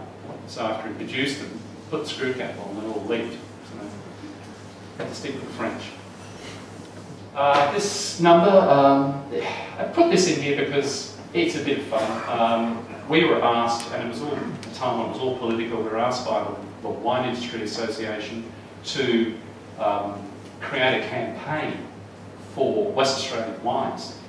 And it was mainly for the American market and places like that. So essentially what happened was I don't know if any, I came up with this idea of an ancient land, a new world, a Western Edge, because it is an ancient land. New World is what we are, New World wines, and on the western edge, which is good. Um, so we created this new name for it, Australia West Dominion of Wine. Um, the image, of course, the woman, just that little token sort of, you know, um, nod to the, the indigenous peoples the, and I, I kind of wanted it a bit timeless. And some people said to me, oh, I said, uh, what was the influence for that? And I said, well, actually, I said, have you, have you guys seen Contact, you know, Jodie Foster? That movie there, there's a scene where she kind of meets her dad, but it's not her dad later, in, you know, once the aliens have got her. Um, there's this scene, and it's all kind of a li little bit surreal. I was stuck in my head, and I thought, I love that. I love that surreal feel to it. So I wanted to create this surreal image for this. That's where it came from. This is for Spicers Paper. Um, they came to us and said, we want you to create a Christmas gift for all our corporate clients. This is going around Australia. We had to source the wine, design the labels, and design the packaging. And again, this is proprietary. Um, this is, that whole box is made out of one piece of single face. It's one piece of e-flute. Um, it took me two goes to design it and make it work. Using repetitive engineers again, same with that. And I used rubber O-rings, like, you know, get into industrial stuff, go and find out what you can use and marry them together. Wax seal, of course, not a big deal. And it's called touch and taste, hence the little, on here there's a little hand, there's a little mouth, and, you know. And that's what it's like when it opens. Um, worked out beautifully, actually. Just the detail um, shows you how it looks. Uh, then we get into whiskies. Um, this is the first of two whiskies we've done. Um, this one's Sullivans Cove, which, I don't know if you're into whiskey, but Sullivans Cove whiskey has been rated as the top whiskey in the world, which is great for them. So real, so this packaging we did, I don't know, eight years, seven, seven, eight years ago. And you know, we've got, there are three in the range, and starting price 100 bucks. This one here, 300 bucks, I think. We won the Wesbeam. Um, uh, Dennis Cullity uh, owns this, well, his family, and when they came to us, they said, "Oh, we want to, we want you to create a brand, but we also want a whole look and feel." And I don't know if you know what LVL lumber is or timber. It's when they take you know, they laminate it, it's all in strips. And, you know, it could be 14 metres long, this stuff. It's super, super strong. So I came up with this idea, I thought, well, hold on. We've got a photograph. They have all these different types. They have different brand names for them. And in the end, I thought, best way to handle this job is if we actually build a mini house and build it in a studio. And then we can get people to be photographing stuff in that environment. It could be raining, hailing, it could be 100 degrees outside, it doesn't matter. It, there was a two-week photo shoot on this because we occupied all of Gale Force, um, Richard Gale's studio when he was working over there. I was, I, was I had to drive my wife to work when we were starting this job. And I was driving and I was thinking, oh, this is all about wood, you know, it's all about better wood. I went, hold on, this is all about building better wood. So I wrote that down. And when the client came in, I had this little strap line there. And he looks at me and goes, oh, that's good. I go, yeah, you like that, do you? And he said, yeah. And he looked at me and goes, he said, you're not going to give that to me, are you? I said, no, we're going to negotiate a fee. Said, you don't have to have it. But of course he did.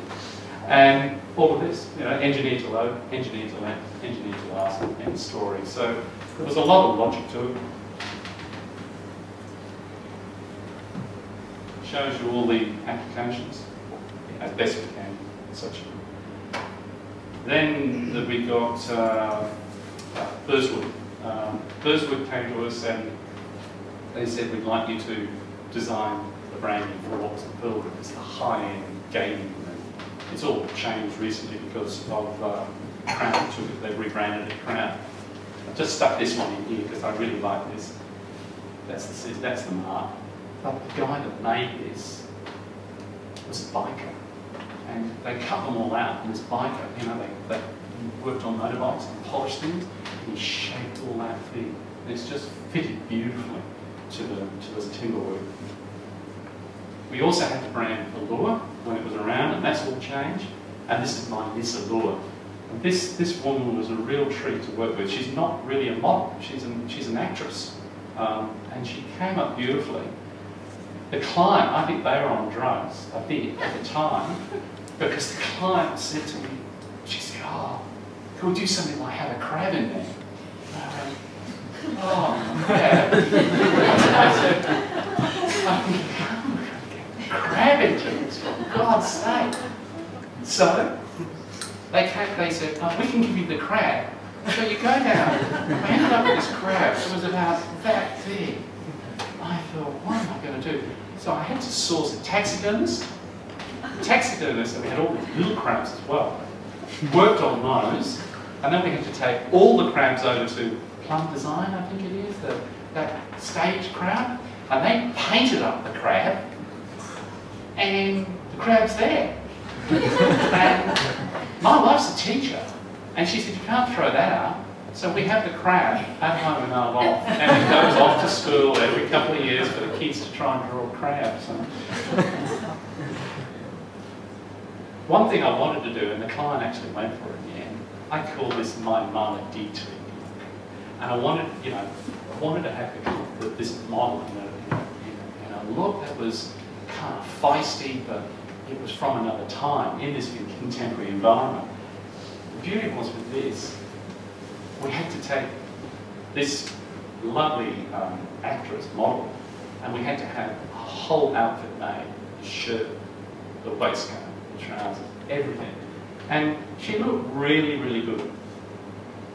And there it is. There's outfit. Prendiville was the first in a series of wine labels. We did Sandalford. We redone all the Sandalford range. This is the iron one, and it's just an example of beautiful typography, um, trying to use the whole label space in a different way. Then it continued to the white range, I think we called it, and the state reserve range. Um, and we also had to re redo their brand market, like the house mark. Case Couture is for this absolutely lovely young lady.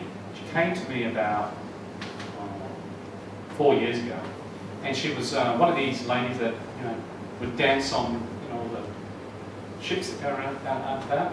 And she said to me, she said, I've got a real issue. And she said, I want you to design my brand. I said, okay. And she said, it's for a makeup case. And she said, because what happens? She said, she said, I know what it's like to try and put makeup on. I couldn't really relate to this because I have needed makeup. Anyway, she said, I really want something that's, and she liked the look, obviously that's why she came to us. But we had to design it so it would could be really, really seriously embossed into the aluminium cases that you put all the makeup have all the LED lights. And it's that, again, that juxtaposition, that kind of audacious Rococo type style and the type here, when I was drawing that up, I just really wanted something that was a bit, you know, like late 1800s, early 1900s out of France, um, just putting it together. It works a treat on the cases. This here is, we're in this, it was when it was Palandri, it became Three Oceans Wine Company.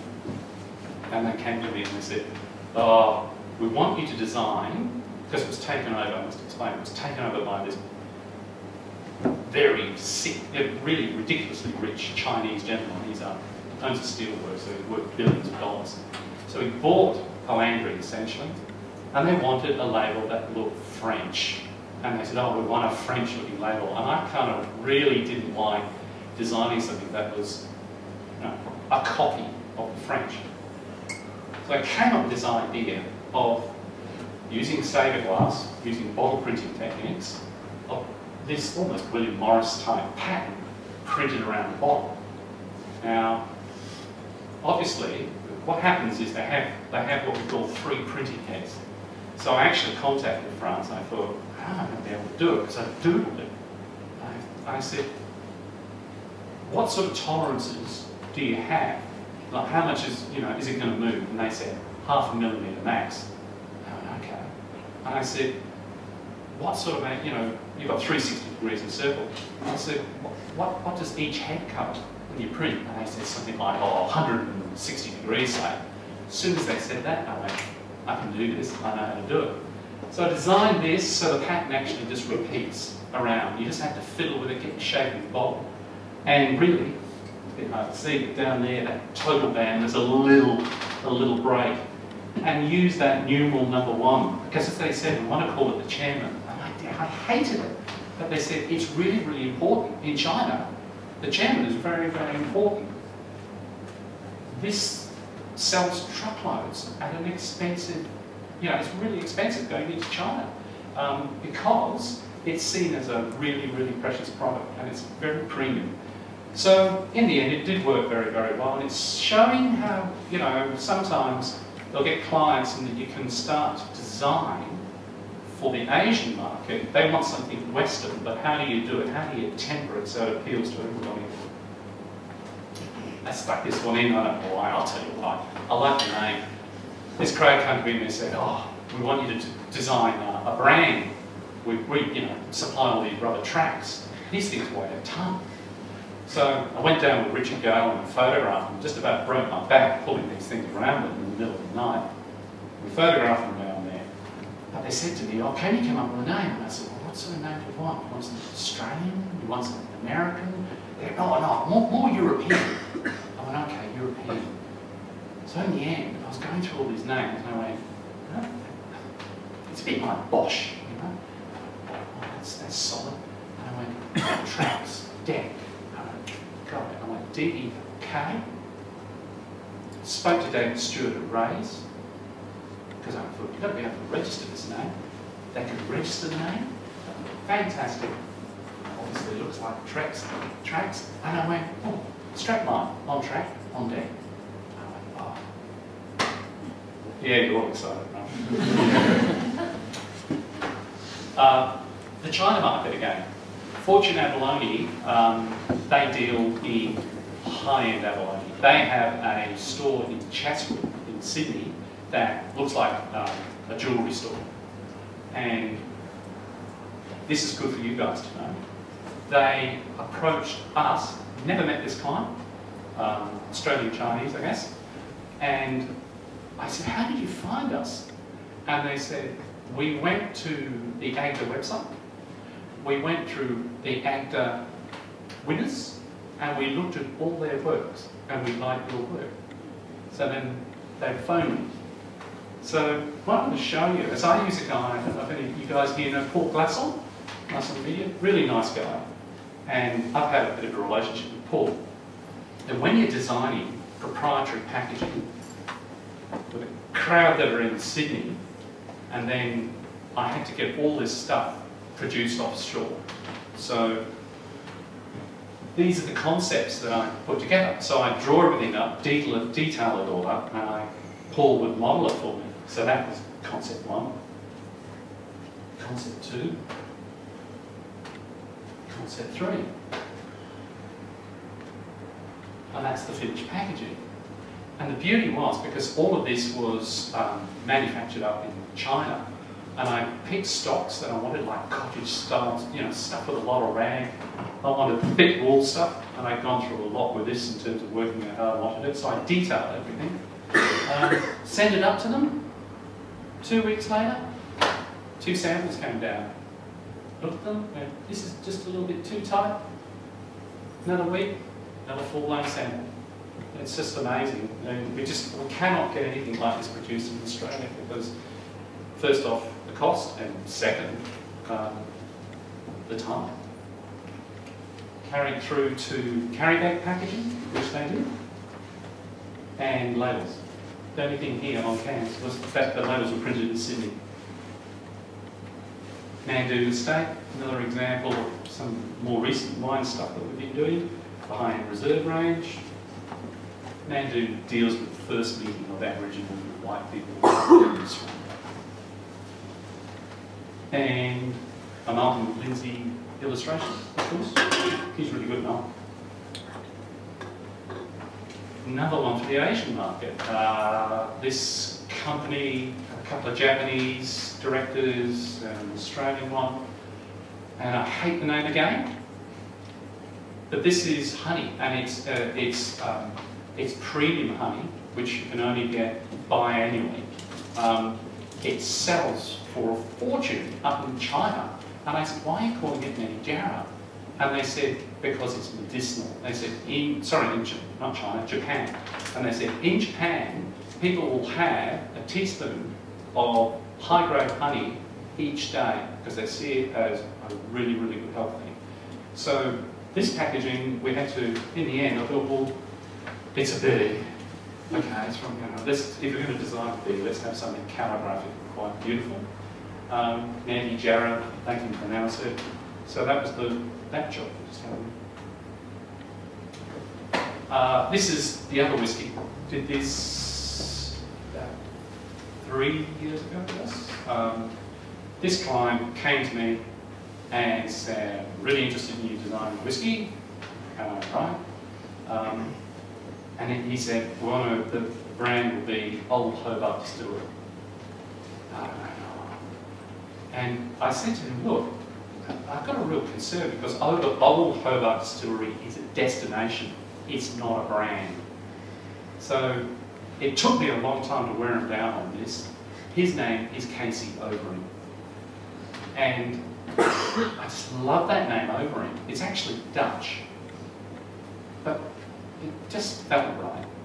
So I spoke to David Stewart at Wrays again, and I said, oh, what's the chances of registering a name, you know, like a, a, proper person's name? And he said, keep this in your head, he said, if there are less than 50 Overeems in the white pages, as in the residential, across Australia, you can register it. Oh, and he said, and there are less. So I convinced Casey to use the brand Overeem, and he said to me at some stage that he promised himself that he would produce a decent whiskey one day. So I created this little strap line, you know, born of promise. And he, he was unsure about this, but he went for it in the end. He said, oh, the premium Overeem. And I actually put the singular Overeem. And he looked at me and he went, that means odd, doesn't it? Said, yeah, but it means different too. So went, I'm going to for that. The bottle is printed with bright, bright gold and creams in France. Capsule in Courgrave, France. Labels are actually printed by Superstick labels here. Canisters out of China, uh, had to be produced by people up there. And Bob Cart was out of Melbourne. So it was more again, once you create a whole book, and there isn't just one label, there are there are six in this series. It was the whole logistics of managing it and dealing with all these people in different countries. Next thing thing's a bit of frivolous stuff. Uh, um, uh, Ed Stroud, was, uh, he's a lovely designer. He, he came in and was doing a bit of work experience with me. This client had this awful name for a range of, of, of planet aware apparel and he wanted all the footprints of animals that are endangered on this stuff, and he wanted to, wanted to call it pauses. And I went, pauses? And he went, yeah, you get it? Pause? And I was thinking, oh, this is a real worry. I don't know, again, how I came up with it, but I was thinking, oh, you know, if we're not careful, we'll be the next people that'll be extinct. And I went, next, next extinct. Okay, there's a name for this, and it could be registered. The hand, well, it's kind of saying maybe it will be us next time, and I'm not going to just hold in the middle of the hand and I'll work that one out. And this is just some of the stuff that we did. Bit of fun, nightmare finding the sizes of all, the paw prints and what their stride was of all the various animals. And uh, Enrico helped on this. He came back and did a little bit of work with this. And there it is, just Vanguard apparel. Saverglass, who I mentioned to you, uh, they came to me. Um, I worked with Saverglass Australia, then the Saverglass France, and the French team as well. And they said, look, we'd really like an ad put together which sort of talks about all the glass that we produce. I thought, well, you're known for wine bottles. Um, they produce all these other glass, glass with spirits, you know, it just goes on. It's huge. So in the end, I thought, how am I going to handle this? Because I don't really want to focus on wine too much, but I have to. So I went out, a bar of aluminium, a big bar, had it all polished. Rob Simeon took this shot. I went and got a bottle. I went and got one of their plans, printed it all on, um, on uh, like watercolour paper, tore it all up, put it all on, and we photographed that. Rob did a lovely job on it. And in the end, just wrote that little line. Some may speak of range, others of quality, all speak of sacrifice. They ended up using that image at the French end as well for promotions as well. So it was nice to hear that. Uh, this was for um, ice cream. He came along to me about two and a half, three years ago. Said, I want a premium ice cream done for adults. You know, Simo stuff is great. And he had these black cubes that are all out of Italy. So he he had the he wanted to be around cubes, so we ended up with this little cube mark. Um, I had to actually. I had to. I said to him, if you're going to have this big label going around, I said we've got to make sure it'll work well. So I used these synthetic stocks, made sure that they would work in the freezer and everything would work, and had to design a jig so that they, because you think about it, these labels are 600 mils long. So you design these jigs with all the labels in and the people have dropped the, you know, full ice cream containers on them and they just go around. It'd be perfectly square. Because if you haven't got stuff square, it just won't work. So again, you're having to rationalise how a client can potentially do something or apply stuff if you come up with the idea. Logic, near the end now, people, coming near the end, so hang in there. Um, about two years ago, an old client out of Queensland came to me and he said, um, I've got this uh, application for quality management systems. And he said, um, his company, it's called 2020. And he said, I, would really like you to do work with us again. So I just looked at it and I said, look, one of your first problems is, is you're called 2020, but you're, you're creating a brand and you can't use that on this software application, which is cloud-based. Got all these people in medical centres around Australia using it. In fact, he just sent me an email yesterday because he's got two companies in New Zealand now and they're buying it. So after, it's a real nightmare if you get into brand name development, developing names for tech-related stuff. I mean, it's all sucked up. Came up with this name, uh, Logic, uh, L-O-G-I. You can go Logic or Logic or Logic or QC. I said, I don't really care. And out of that, QC, because it's all about quality control, quality control as they call it, I was sitting there and I moved this thing around Oh, oh, he looks like a bloke. So then I started adding more hair and a little speech bubble. And I thought, oh, hold on, there's a family here because trying to think in terms of promotion stuff. So then all these promote, all this stuff started getting used on the web, website, like understanding quality manage, management, you know, and it all up to one, collective effort to deliver a good hair day. Client, you know, doesn't have any hair. Was a bit anxious about using that one. Um, but in the end, he went, no, he said, my wife likes it. Um, uh, understanding quality management. There's always more beneath the border. Um, and so, you know, walk the same walk. Then we had to have this big campaign. And I thought, because he's got all these expos and they're going out, all these, this guy's coming under the radar. So I developed this Discover QC. And this is like bigger than Ben Hur. So when you go to an exposition, instead of having a backdrop of all these little photos, there's this big mother. It is huge. And he said it's been working beautifully because it's so simple, because QC is the heart of this program. Just a bit of a look, some of the stuff for the brochures I've had to do, not over the top. Paul Vassell had to build all that stuff for me. And there's the fun bits. Almost there now. One more after this, and I'll get out here. I got a call. I had two jobs. I couldn't believe it. You know, you, you have ups and downs as a designer when you're sort of, you working by yourself. And at Christmas time, I get this call from this old steamer, from this woman. And she said, oh, she said, I need packaging done because what I've got really sucks, SUS. you know, I've got cake decorating last night. Well, I was just about to go delete. And I thought, no, don't do that. Always, always be nice to people because they might badmouth you. So I phoned her up. Probably need to get else. She said, oh, I really need it to be really quick. She said, because there's a big thing happening with it. There's going to be this big launch and it's awful. And I said, well, have you, I hate the name. Another name, I hate it. I said, have you registered the name? She said, oh yeah, yeah, I've done that. With Wrays. No, no, okay. Oh. So then, I said, and she said, oh, and she said, I've got Wrays. We're applying for patents, or patents. And I went, oh. So I thought, hold on, something's going on here.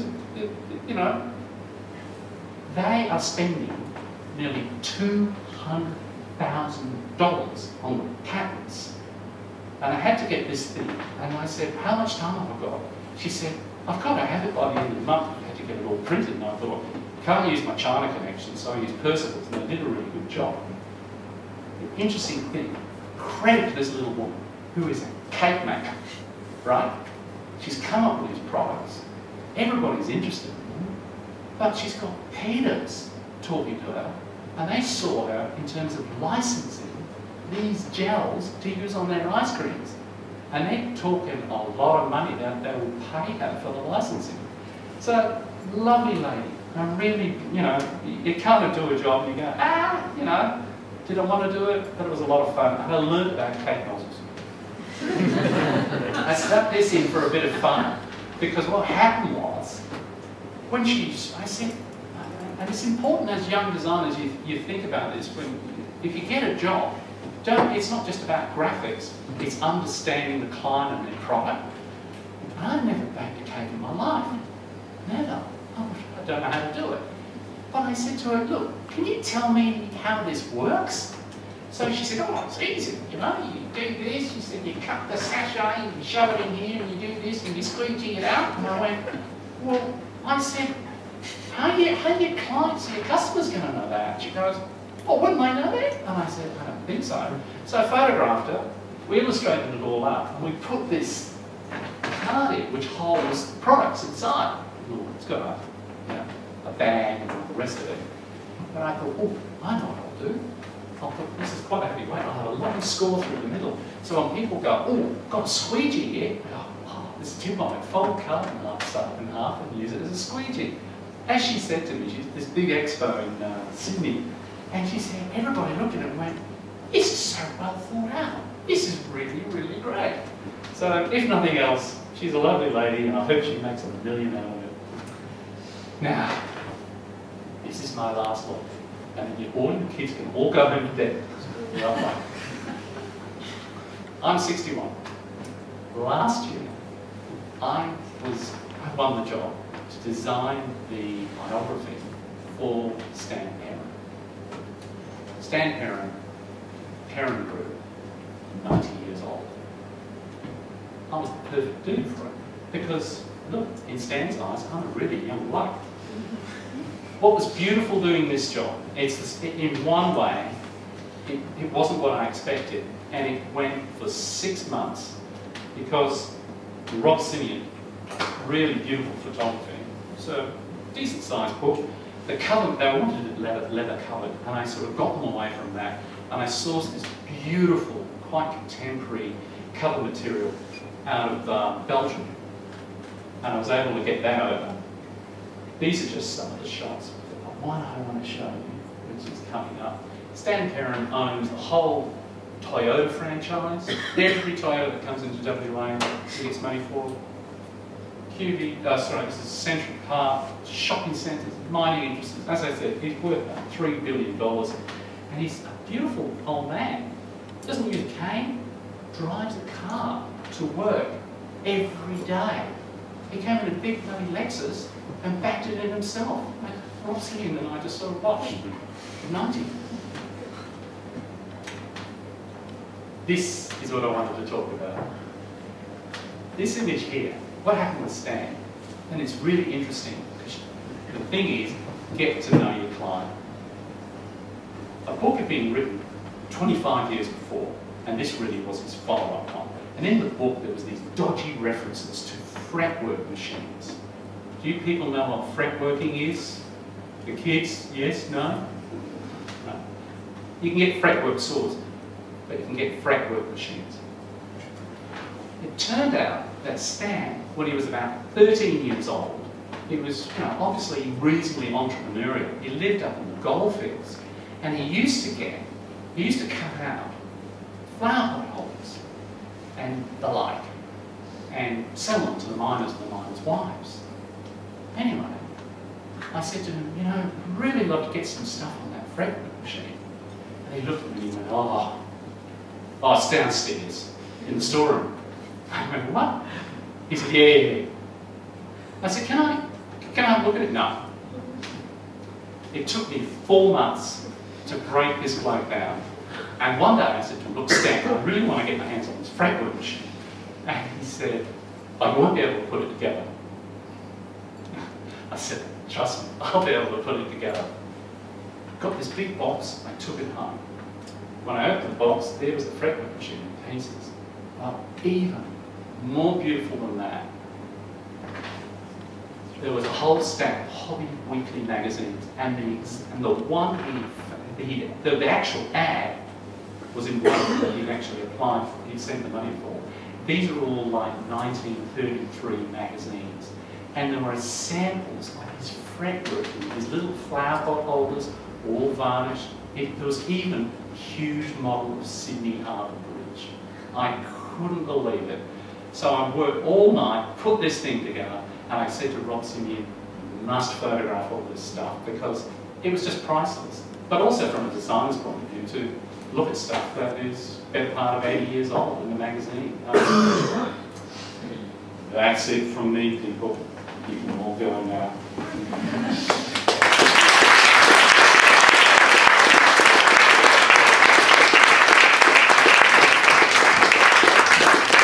Thanks, John. Um, don't, don't go too far. Does uh, I've got to open it up to questions Oh, quickly. oh, if anyone's, uh, does anyone have any questions for any of our speakers tonight? It's all quiet. No. Um, Okay. oh, yeah, Oh, no, I do. One for Janice. I'm just wondering, what's been your favourite project to date, or what's been the best thing you've ever worked on? Um, Working with me. Just the worst. Kidding. Um, no, uh, it's probably the last project that I've been working on. So the project I'm working on today, but yeah, couldn't put it in obviously. Um, but every day I'm just learning a lot more, and yeah, the projects that I'm currently working on is yeah my favourite. Sorry, Anne, I've got a question for John.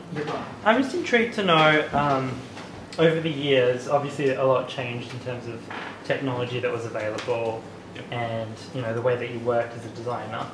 How, did, is that something you just kept falling into or is it something you had to kind of take the initiative to learn and develop? Well, to be to be honest, what happened as you as you have a, a studio, you know, you employ all these people, Yeah. and um, a lot of the technologies, because I was creative director, designer, um, out there spruiking, you know, getting work as well. So you tend to have all these other designers that would really work and do stuff for you. And it's only in the last few years that I went, look, I've got to learn that myself. I decided I was at that point. Kind of like, to be honest with you, I felt a little bit more liberated, not having to rely on people. It was a, it was a catch-22 because in one way I went, oh, geez, oh, is it going to work? But all, all along the route, you, you, you have to keep on learning. And really, as I've always said to even designers in, in other areas, kind of look at it, the, the, the area you're in. I think it's very important. Um, one thing I was going to say to people um, is that the one thing I can, if, if somebody said to me, give me a piece of advice as a designer, I want to be a designer and I want to be known for what I do, is probably kind of don't follow the pack. Um, one thing I've learned over the years is that anything that you design, and you design really, really well, is because you like it. If you try to design because other people are designing that way, it's never going to work. So be true to yourself in that way, and with luck. But in terms of your question on technology, it's going. I feel sorry for you guys. I'm being honest because my generation had to learn how to use computers if potentially if they're going to survive, and that's been a bit of a leap. For you guys, well, what's going to come next? I mean, you saw up there 15 years worth of work. You saw that transition in terms of technologies coming in. This, the hardest thing for all of you guys, and you can sort of see it's happening now, is the pie's getting nibbled away by um, people out there. It used to be desktop. You know, every man and his dog now has got um, um, InDesign. Um, how many people do you know that have Photoshop at home? So you start to get to the stage that you've got a lot of people, lay people out there, who think they know how to design. To keep a step ahead of them, you've actually really, not just from a technical, technological point of view, it's a bit like Janice her work, she keeps looking in terms of what are the influences. Well, the average person out there, out there can only try and emulate that. So it's, it's important to really sort of drive a stake in and be true to it and follow that. I've tried to over the years. You can sort of hopefully see a little bit of a, a continuity in it all, be it the brown period and dated, it doesn't really matter. Uh, that's how I think. Thank you for that. It's beautiful. Right. Uh, any other questions before we quickly wrap it up? No, well, that looks like that's that's it for tonight. Um, I need to thank our two speakers. Uh, John, amazing, amazing body of work. Um, I'm really I've lost about my second, folder second now. slide to show. Um, I'm completely embarrassed about my folder now. Um, thank you. And uh, Janice Law as well, who's absolutely amazing. So thanks everyone for coming tonight. I need to say a really big thanks as well to our print sponsor, Anthony from Discus, who unfortunately isn't here tonight. Um, to all of my fellow ACT community, um, Hayley and Kate, thanks again for helping out tonight, and Bronwyn. Um, and most of all, thank you to everyone here for coming. Thanks for supporting our industry. Thank you.